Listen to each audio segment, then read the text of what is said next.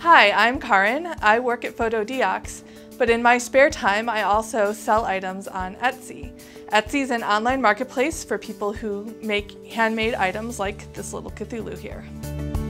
When I'm taking pictures for the items I sell on Etsy, I want you to be able to see the detail in the work that I do.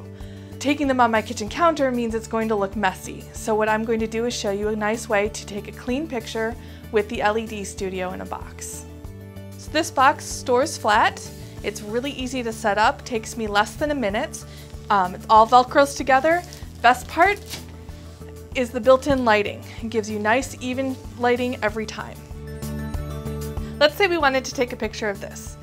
Stick him right in here, it's got a nice seamless background. This kit comes with a couple of different colors.